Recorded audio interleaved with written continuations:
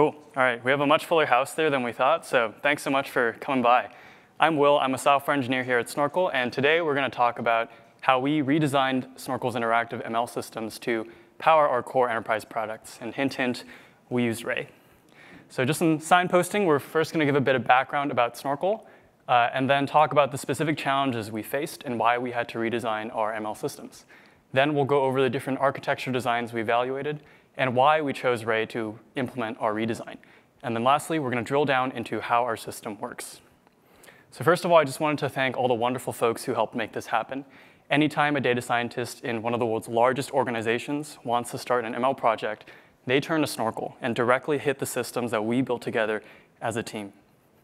All right, so I'm going to start off with a bit of background about Snorkel.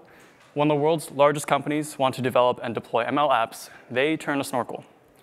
Our flagship product, Snorkel Flow, allows data scientists to programmatically label massive data sets without needing to use human labelers and then train models on those data sets.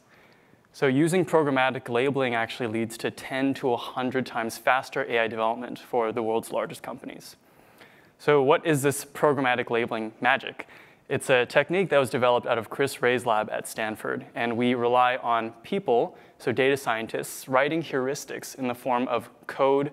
So these can be if-else statements or calling out to models, which can be anything from logistic regression to large language model inference calls to spit out these weak labels for data points.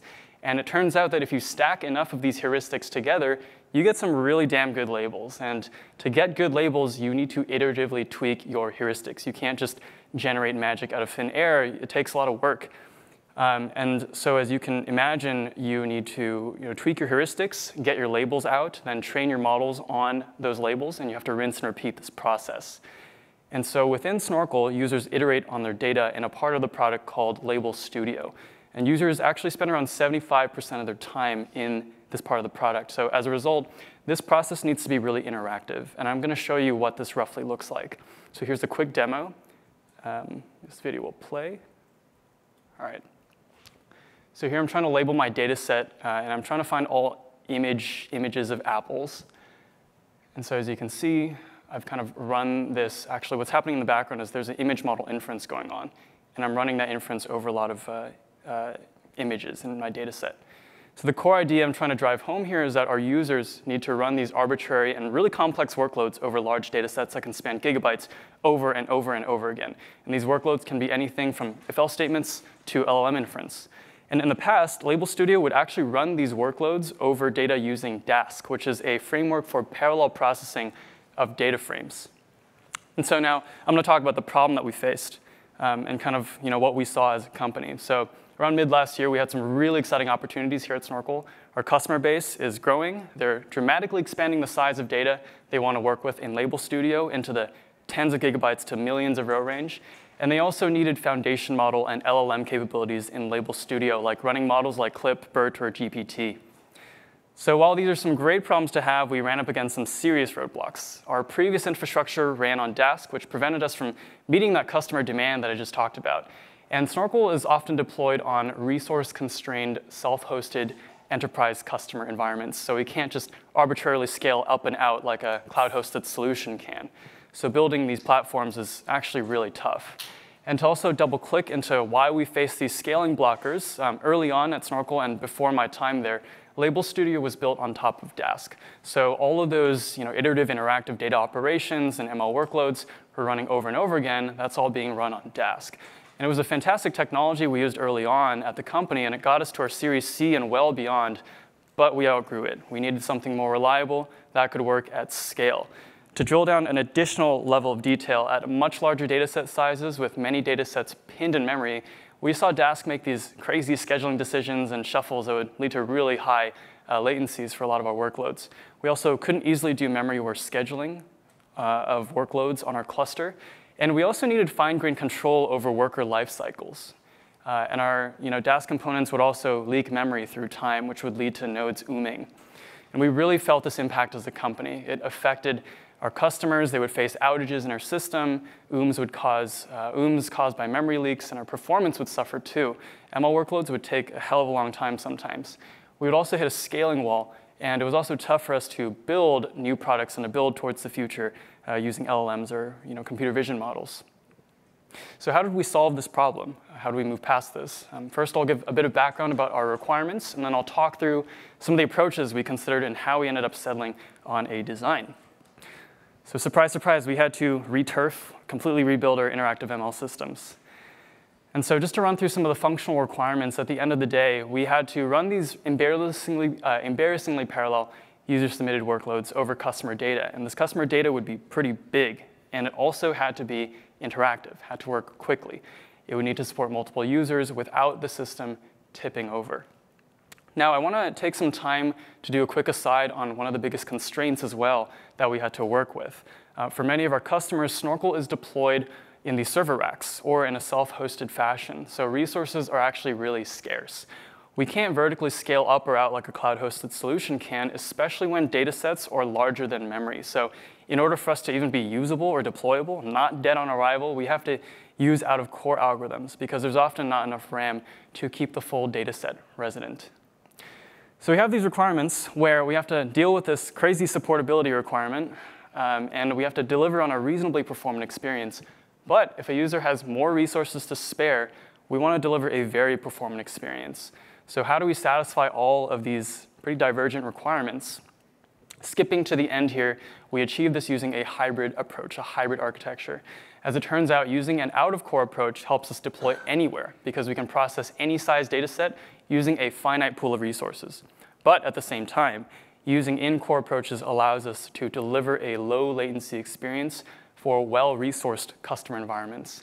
But first, we should talk about our design process because we're engineers here.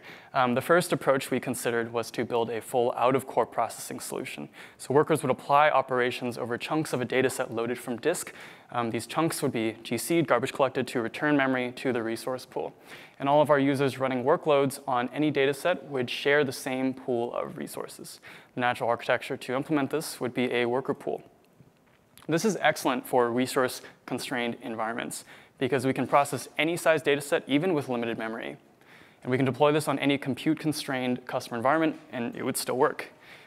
The issue is that if you're a customer that has way more compute to spare and you can afford to cache a lot more data in memory, we're still doing all this expensive disk to RAM I.O. fetching with this worker pool architecture. And this isn't, this isn't great. This is a severe latency bottleneck for us. So since the worker pool architecture alone couldn't give us the performance we needed, it was time to also consider in-core approaches that leaned into caching. And so rather than constantly load chunks of a data set and then garbage collect those chunks, why not just pin that data set in memory? User workloads would get routed to run on those data sets and minimize I.O. cost. So what we're doing here is we're caching data at the data set level, and it removes a lot of I.O. latency um, but it assumes a lot about what's useful to cache for the user. For example, when a user interacts with the data set, that user might generate a lot of intermediate results or metadata, and we have to store that somewhere as well. This architecture doesn't leave enough room for that. But also, each user might have their own version of some fine-tuned model that, that they need to store in, in RAM or in VRAM somewhere. So what if for every user working on a data set, we just spun up dedicated resources just for that user data set interaction? We'd have dedicated space to cache each user's you know, private stuff uh, with that data set and while maintaining memory safety. So we're essentially caching at the highest level of granularity here. We acknowledge that we're duplicating the data set a lot. Um, however, what we get in return is infrastructural flexibility because you know, this is fine-grained caching. And this is a trade-off we're willing to make. We can optimize for memory later. So on the one hand, while out-of-core approaches allow us to support any customer, no matter how resource constrained they are, on the other hand, in-core approaches allow us to deliver the low latency experiences customers want when they have more resources to spare by caching and avoiding I.O. So why don't, why, why, don't we just combine these approaches into a, a hybrid architecture? Uh, this was the solution we ended up going with. And by caching data sets, metadata, and models in memory on the right-hand side, we can deliver really low latency experiences for our customers on massive data sets. But if we ever run out of resources, we can always fall back on this you know, worker pool on the left-hand side, and everything will still work no matter what. And compute-bound workloads are also great on the worker pool as well. And here's just a bit more detail on what this looks like. I see some people taking photos. I'll give you a few seconds for that. Cool. As you can see, we can leverage the strengths of both approaches to basically get the best of both worlds. So this is really cool. Um, now, why, why Ray? Uh, we chose Ray to help build this architecture because it gives us the abstractions that we were looking for.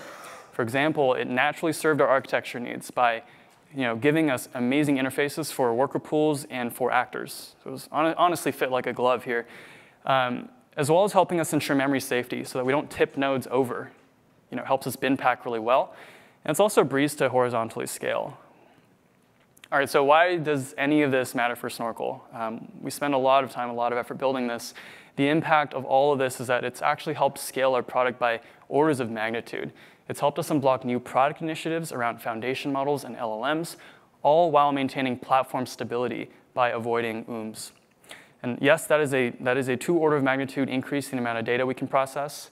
And we can now build these products that involve text and image foundation models and deploy them on customer environments, which is super cool. All right, so now we're going to drill down into how all this actually even works. So again, I want to drill home this core idea. We're running these really complex operations over a lot of data over and over again, and this needs to happen quickly.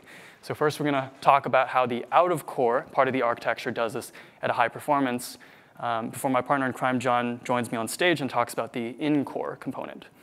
So we implemented the out-of-core component as a worker pool, with each worker pulling chunks of data from disk into RAM. And the first core idea is to use data chunking and parallelism for memory safety and for speed. So let's go over how this happens.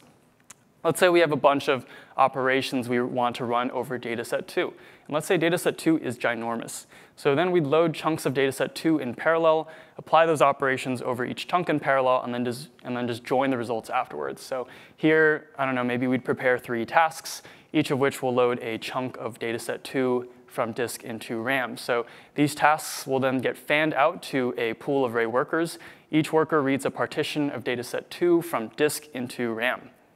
And then just runs all the operations over each chunk in parallel, and then joins the results after. And so we can pack these tasks onto our cluster without OOMs because Ray does a great job at memory aware scheduling. So, um, and if we're in a resource uh, scarce scenario, we can then run these tasks serially instead of fan them out you know, massively parallelly so that the full data set is never resident in memory all at once. Now, we can introduce an additional layer of parallelism on this for you know, even better memory safety and better performance, and this is operator parallelism. And this is especially critical if all those operations can't fit in memory all at once. Maybe each operation is actually a, a, an LLM, like literally. So let's say we have all these operations, but we, we can't fit them all in memory all at once. So what we do is we can group the ops so that no group is larger than a certain RAM limit. So we can set this RAM limit based on some you know, environment variable or based on the size of the cluster.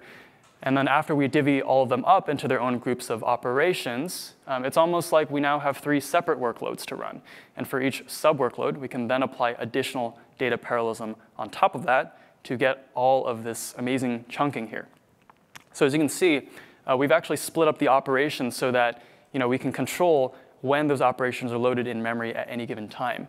So we can then fan out those tasks to the worker pool once again, and this is awesome because um, we can use chunking across tasks to achieve memory safety, or we can do parallelism to achieve performance. All right, this is, this is wonderful, but we, we ran into some roadblocks when trying to build this. Uh, the, the main roadblock in particular is job isolation when trying to implement the worker pool. The issue is that these workloads are actually submitted from different API client processes. From Ray's perspective, these are all different drivers, so they don't share resources that you spin up. So if process one spins up a bunch of workers in the cluster, process two can't use them because it's a different driver. So if process one has actually crowded the cluster with workers, process two has to wait for all that stuff to exit and die before spinning up its own workers from a cold state. And this is fine, but with one big caveat.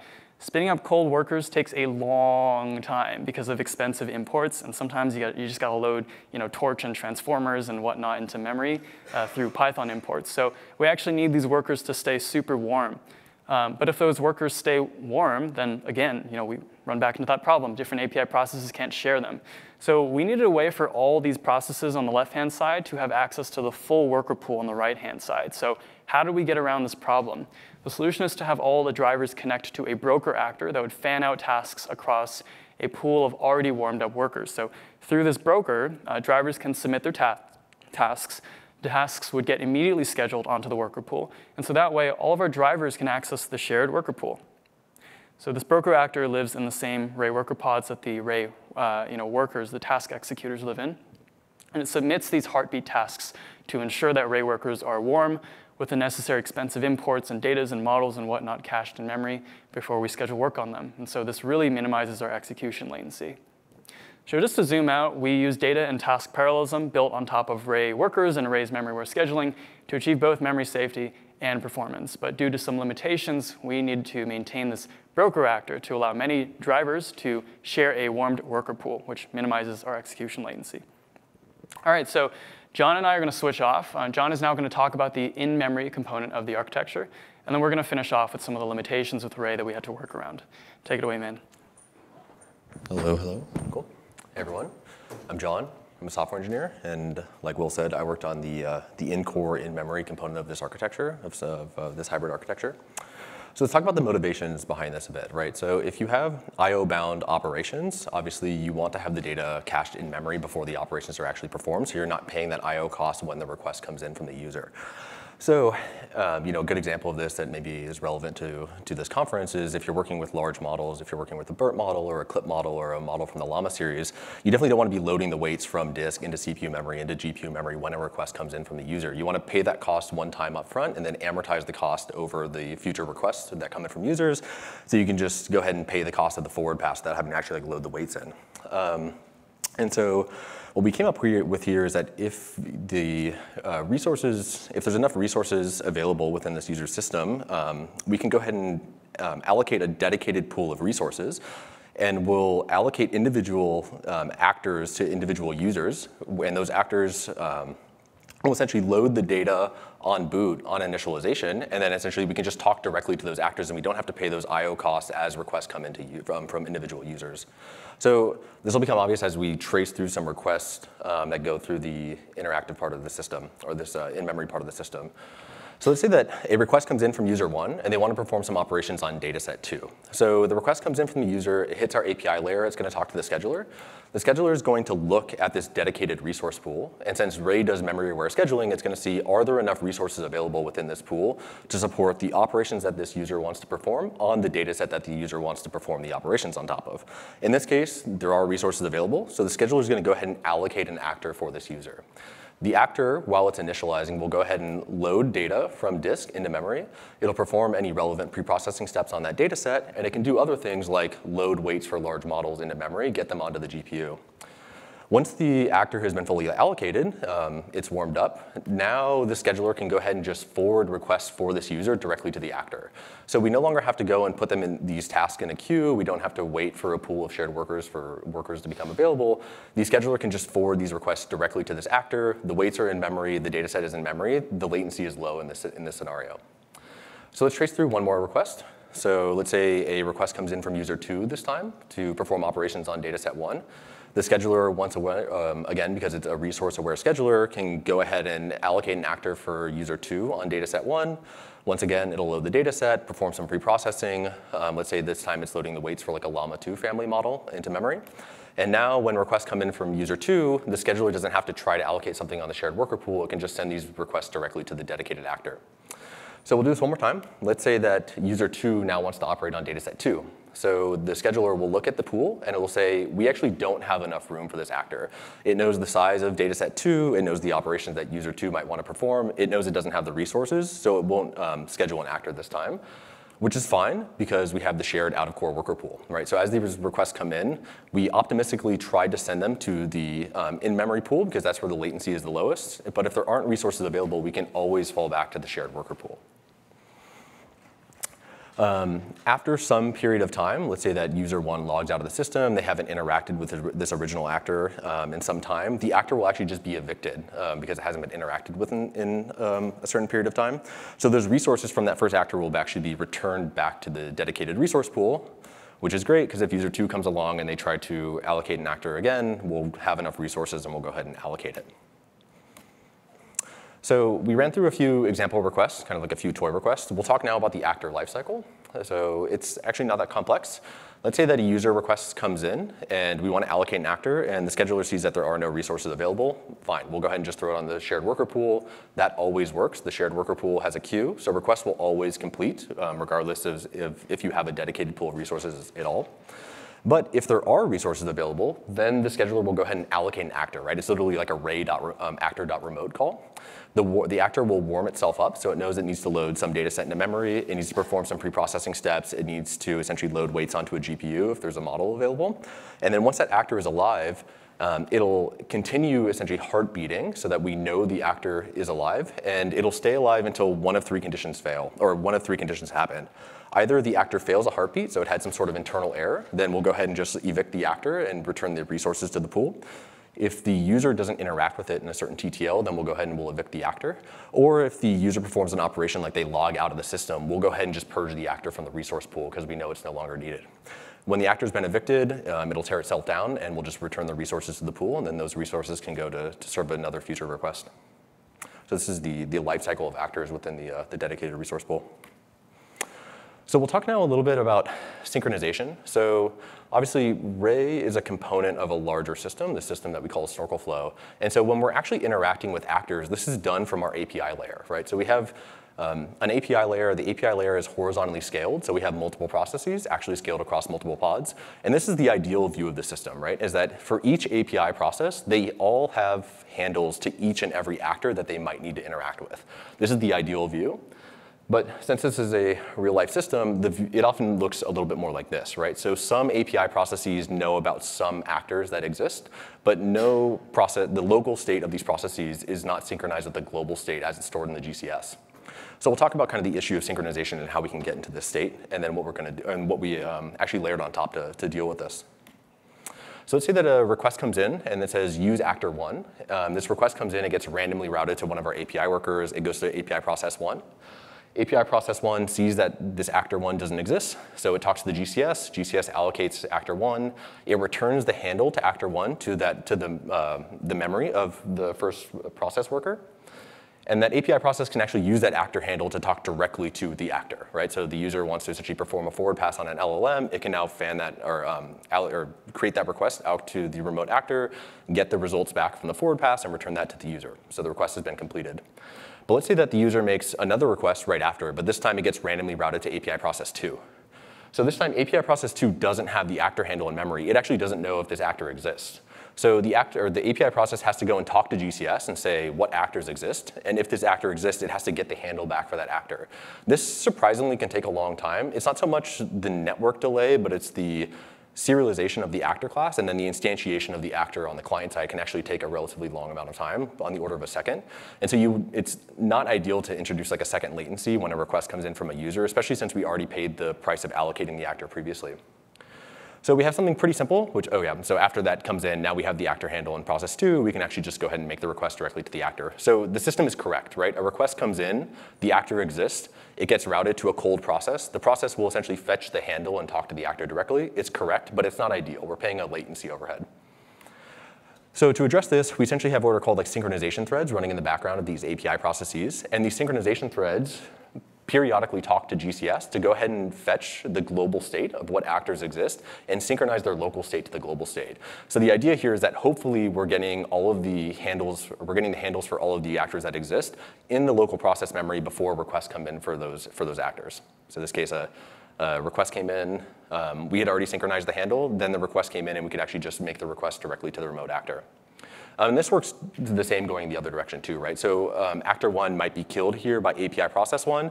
API process two would still have the stale handle in memory, so it would try to essentially make a request to an actor that no longer exists.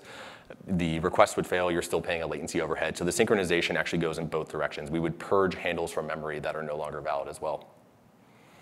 So yeah, so just to summarize, um, getting actor handles can take a surprisingly long time, like on the order of a second, depending on the complexity of the actor. Having them cached beforehand reduces latency, obviously. Um, consistency versus latency. So basically, we are always correct. Like we have like a strongly consistent system, but you can reduce the latency by kind of like layering on these synchronization primitives um, over and top the, the API layer. And for future work, ideally, we wouldn't have to talk to GCS to in order to converge the local state of the processes with the global state of the system. We could have like a gossip protocol between the API workers. There's a whole bunch of other really cool things that, that you could do here um, in the future work. So zooming out on the in-memory part of this architecture, uh, if you want to run IO-bound operations over data sets that can fit in memory, then you want to work on this part of our hybrid ar architecture. We pay the IO cost upfront when we're allocating these actors, and then we amortize that cost over the lifespan of the actor.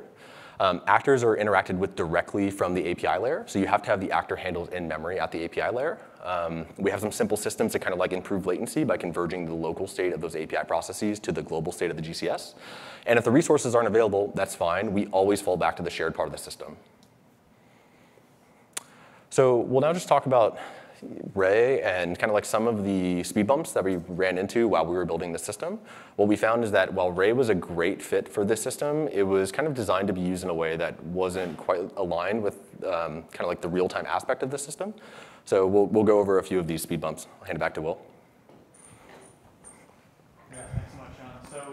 This is one of the first limitations we ran into. We've already talked about this, so we can just fly through this. We can't really configure job isolation in Ray, so different drivers can't share resources, which kind of sucks. What we really want is this. We want for all processes to share the same pool of you know, warmed up resources, whether they be Ray workers or Ray actors or whatnot. So the solution was to introduce a broker actor in the middle that would fan out tasks across a already warmed up pool of workers.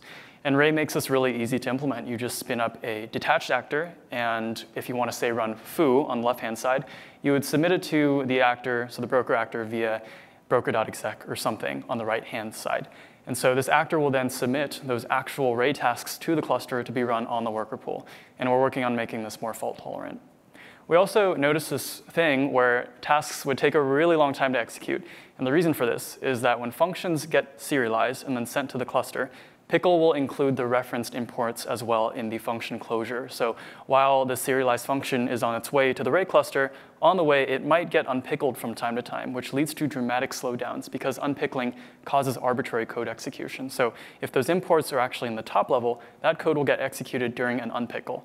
If the import is expensive, then we're going to see it every single time. To alleviate this, we can move all the expensive imports into the function body itself to avoid arbitrary execution from unpickles. Switching back to John. Yeah. One other uh, limitation that we ran into is just basically cold workers. So we have the worker pool that was shown for the, the out-of-core part of the architecture. And if you don't interact with these workers um, periodically, they actually go cold, so they get reallocated by Ray. And we pay a relatively significant startup cost uh, just because of all the modules that we have to import and other initialization steps that we have in these workers. And so a pretty simple solution here actually was just to heartbeat these from time to time. And so the broker actor was a great um, abstraction to use to, to actually manage these heartbeats because it actually knew the, the um, scope of all the, the workers that existed. So the broker actor basically just had a background loop that would go along and periodically ping the workers and just keep them alive. So we paid that warm-up cost one time when the workers were originally allocated, and then essentially, again, you just amortize that cost over the, the lifespan of the workers. Uh, which is shown here, just fanning out heartbeat tasks to the, to the individual workers. Uh, so Ray limitation four. So maybe you all have seen this, but when you allocate an actor, and if you wanted to take up uh, one GPU and there's no GPUs available, the actor will just hang until the GPU becomes available, right? Like let's say there are GPUs allocated, they exist within the cluster, but they're currently used by other actors. The default functionality of Ray is to actually just like hang until those GPUs become available. So this is fine if you're just a data scientist who's trying to fan out some jobs that run overnight. Maybe those GPUs will become available. You're fine if, if your actor takes a while to boot up. But this actually doesn't work great in our system where we have requests coming in that are supposed to be low latency and there's a bunch of users using the system that all expect relatively relatively low latency on the request. We can't just try to allocate an actor and then just wait forever in order for it to be allocated. And Ray doesn't give you a way to essentially fail the actor.remote request immediately if there aren't resources available. So what we had to do is essentially figure out how long it takes for these actors to be allocated. And then if um, at a timeout, if the request to allocate doesn't complete in that time, go ahead and end the request, assume that the actor cannot be allocated, and then debounce requests that come in, similar requests, for a certain amount of time so you don't just like spend a bunch of time trying to allocate actors when there aren't resources available for them. So this was uh, one of kind of the incongruities that we ran into when we were trying to use Ray in order to build a real-time system like this. And I believe that concludes our talk. Thank you very much.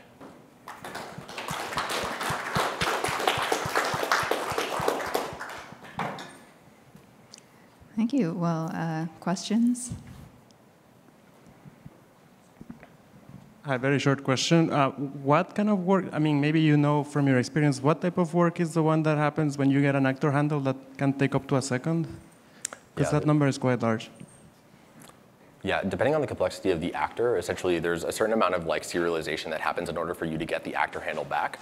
Ray assumes that you actually don't have the actor class defined locally, and so it like it pickles it back from the store of actor handles on remote. And that process, depending on the complexity of the actor, you can end up paying the same pickling cost that was discussed in the other limitation.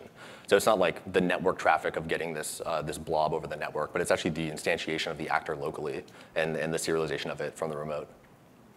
Yeah, so for example, if, say, you reference things in the function closure, or if you even have references to certain types in your type definition of a function uh, of an actor method, sometimes that stuff can get you know, included with the function serialization or the class, serialize, uh, the class definition when you serialize.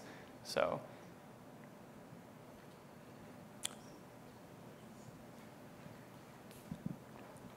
Uh, I guess like when you were debugging these issues, like what was your like debugging workflow? I guess because I think like yeah, I mean just parsing through Ray logs like can be extremely painful and tedious. Like I'm just curious like if you guys had any better ways of doing it. let me, let me, let me tell you, man. Like, I think, I think one time I put a debugger in the Ray lib and then deployed it to the remote cluster and then execed in and attached the debugger so I could inspect the unpickling process to try and figure out what was actually happening. So that could have been a little bit better. And yeah, I think we've all run into the issue of trying to look for a log and then you just end up in a directory with 50,000 files in it. That's a bunch of UUIDs for different like worker tasks and the lifespan is pretty short. So uh, not great, uh, yeah. yeah. I can tell you something I did as well. Sometimes I would print out tracebacks like in the you know, top level, I guess, uh, scope of a Python program so that I could see where that unpickling was happening. So if an unpickle accidentally arbitrarily executed code, I could actually see that in the logs. So we can, we can talk about this more offline as well. We had so many tricks. yeah, we should put that in the talk, actually. Yeah. Yeah, next time. But Cool. for the issue of uh, synchronization, so what do you do for the what do you do like when the API process receives a request but like hasn't synchron or hasn't synced with the GCS yet? So like if um because you, you only run at intervals, right? So like if you haven't like synced it correctly, then like um yeah, I guess like will du- will duplicate actors get created or like what happens when it's deleted? Yeah, if we don't have the actor's handle in memory, we have to assume that the actor exists and we just don't have the handle. So then we have to pay that cost for the GCS. We have to go round trip to the GCS at that time. Um, likewise, kind of like the symmetric case is if a request comes in for a handle, we assume the handle is valid. We try to use it. You might hit a gRPC error because it's trying to talk to a port that's been closed because the actor no, no longer exists. And then we essentially purge the handle from memory and then put it on either the shared pool or we try to allocate the, the referenced actor. So basically we always are correct, but we might end up trying to talk to an actor that doesn't exist, or we might have to go and talk to GCS to grab a handle that was referenced.